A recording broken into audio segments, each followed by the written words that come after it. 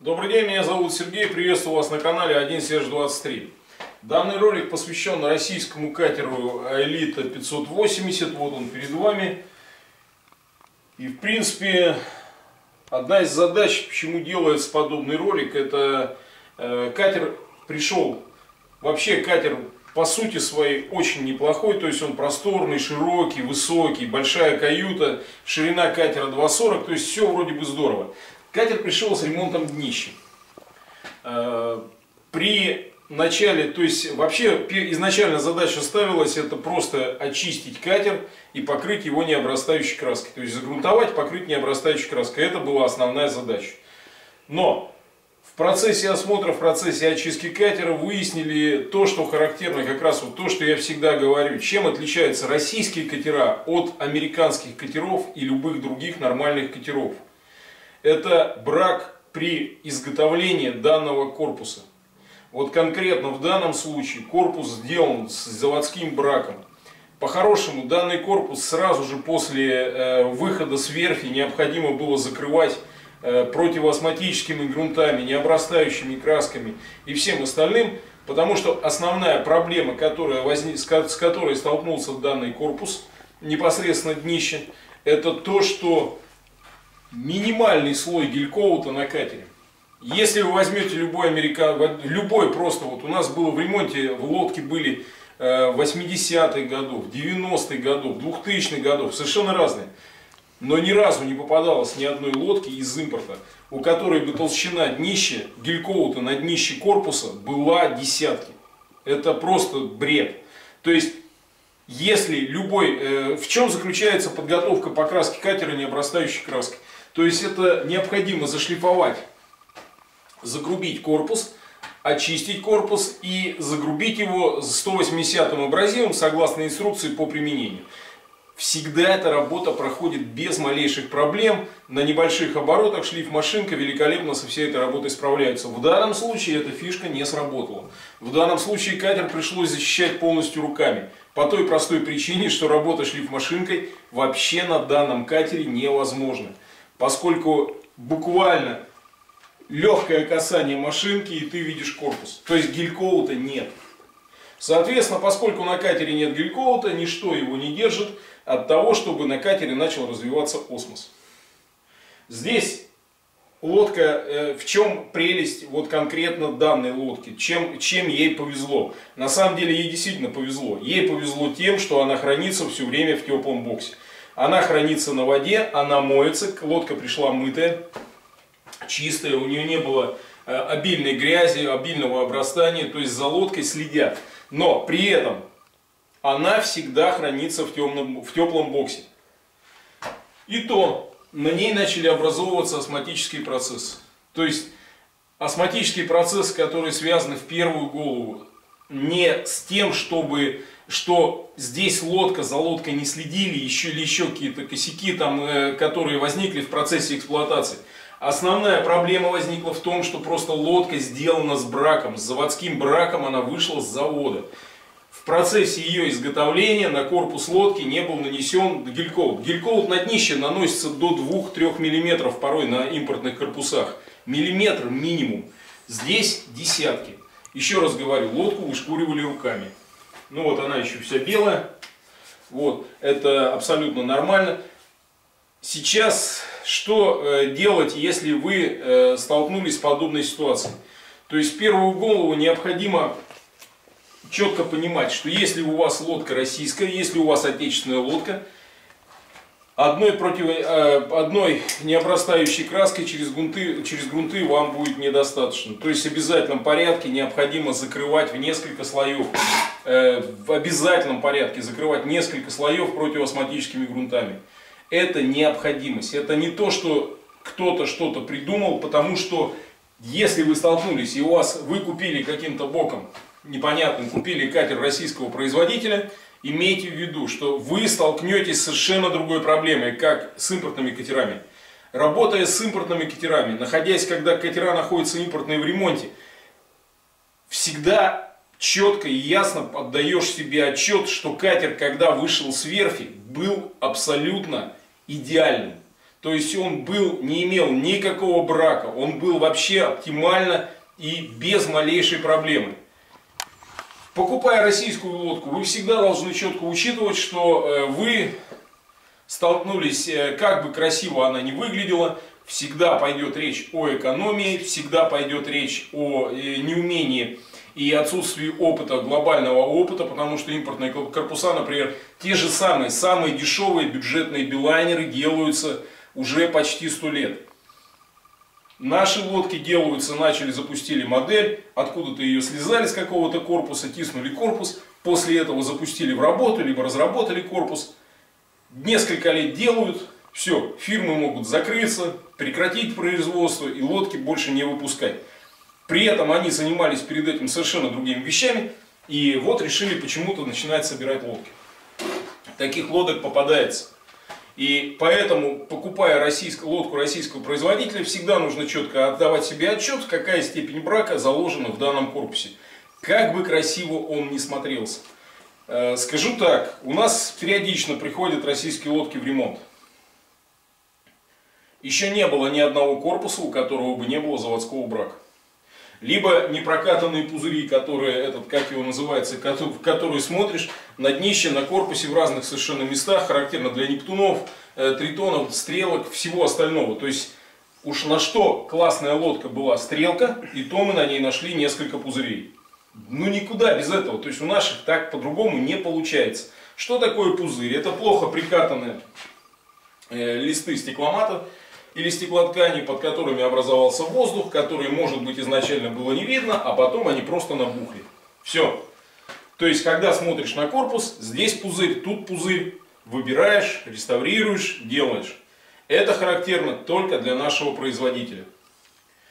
Также характерно для нашего производителя то, что могут использовать смолу, например, как это было вот конкретно на моем Нептуне. У меня был в свое время 500 Нептун, у которого корпус был липкий, одежда, которая вся хранилась в рундуках, пошла на выброс, потому что она настолько пропиталась запахом стирола, что это просто было невозможно. И корпус уже соответственно, то есть причина этого была ситуации в том, что э, корпус катера, моторной лодки, был э, изготовлен с нарушениями. То есть ребята не добавили парафин и, соответственно, использовали дешевую, э, этот, как его называется, более дешевую смолу, э, которая была не композиционной, которая была чисто матричной, и на это все забили. Закрашивать не получится, любая краска сгорит на стироле. Грунты сгорят на стироле, ничего не будет держаться на стироле. Липкость стирола это означает то, что корпус испорчен. Все, по идее эту лодку надо было брать и утилизировать. Вот. Но этот, как его называется, речь не об этом. Речь конкретно о том, что э, вот о данной лодке. Что сейчас будет с ней делаться? Во-первых, сейчас э, лодка имеет ряд повреждений по корпусу. То есть у нее, поскольку гликолд очень, очень тонкий, он э, пустил паутину. Когда лодка стояла на каком-то постаменте, типа козла, потом у нее есть некоторые повреждения в районе киля. Это нормальное явление, это как раз естественно следы эксплуатации. За исключением паутины. Паутина возникла чисто из-за того, что корпус очень тонкий, днище, э, борта корпуса также тонкие. Потому что вот, вы не услышите такого никогда на билайнере. То есть он, хотя билайнер это самая дешевая лодка импортная, самая дешевая импортная лодка американская. То есть это самая бюджетная лодка, которая выпускается очень много и без всяких проблем. Но корпус у нее всегда будет толстый. Здесь корпус тонкий. Соответственно, когда лодка стояла на козлах, пошла деформация по корпусу, по стекломату. Лодка достаточно тяжелая. Пошли э, паутина, как после удара.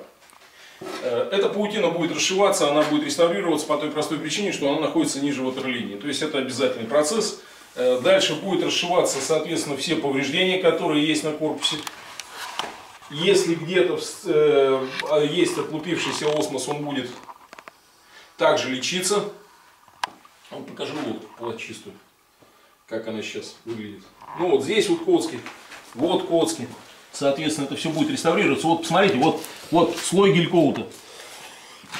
Это вот слой гелькоута. Я более всего уверен, что данную лодку никто не шлифовал особо. Ее максимум могли полировать, максимум могли с ней что-то делать, но шлифовочных работ на ней не было. следов шлифовальной машинки мы не обнаружили. Это, другими словами, конкретно, четко и определенно заводской брак корпуса.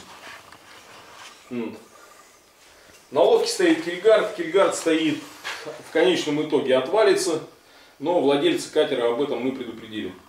То есть мы его не будем закрывать, то есть он так будет вот белой полосой. Ничего в этом страшного нет. Отвалится, потом его зачистить и, соответственно, под ним обработать. После того, как будет отреставрирован корпус по геликоуту, то есть уберется паутина, уберутся сколы, уберется пузыри, которые отвалились по осмосу, э, соответствующим образом э, дальше будет в несколько слоев катер покрашен э, грунтом, противоосмотическим грунтом в обязательном порядке, без этого никак нельзя вообще, то есть по-хорошему здесь надо слоев 6 катать, но решили, что будет выкатана одна банка 2,5 килограммовая. Вот. Насколько ее хватит, корпус большой, но я думаю, два слоя хватит железно. Может быть чуть больше. Дальше, что будет еще делаться? После этого корпус будет покрыт, э, соответственно, грунтом Примакор и закрыт э, необрастающей краской голубого цвета Relux 33. После этого работа будет закончена. Потому что, как еще раз говорю, данная лодка пришла конкретно, исключительно, только с целью, а у нее не планировался этот ремонт.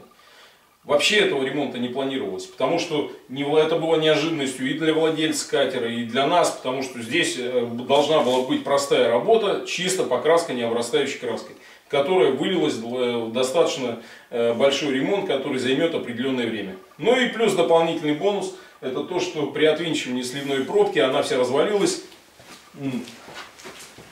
а ведь через нее поступает вода в лодку. Вот посмотрите, вы такое чудо видели? Вот она. Вот, вот сливная пробка. Вот это вот держалась без герметиков, без всего. То есть закручивать ее в этот, э, как ее называется, здесь надо нормальную пробку ставить однозначно, и это решение было принято. То есть, а так она полностью вся развалилась. Давай открой. А вот как она выглядит, если ее разобрать. Это также отечественный производитель. Что, влом было даже купить в розницу пробку такую, она стоит 350 рублей. Какая проблема? И поставить ее нормально на катер, уж если вы делаете что-то что, -то, э, дорогое, какое-то дорогое изделие. Э, вот, посмотрите, кстати, вот толщина э, днища. Вот толщина стекломата, потому что дальше идет фанера. Вот здесь видно как раз. Миллиметров 5-6, э, дальше идет фанера. То есть, в принципе, для данного места это очень много. И фанеры здесь не особо место. А так, во всех остальных, по, как его называется, по общим показаниям, но не по общим показаниям, по общим впечатлениям, лодка очень интересная. То есть, ну, говорю, как еще раз говорю, что в наших при покупке, при покупке российских лодок всегда надо учитывать, на какой процент брака вы готовы попасть. То есть это неизбежно. Не попадалось еще, не было еще ни одной лодки наших производителей, которая пришла без заводского брака. Просто не было. Так что вот, а сейчас данный корпус идет в работу.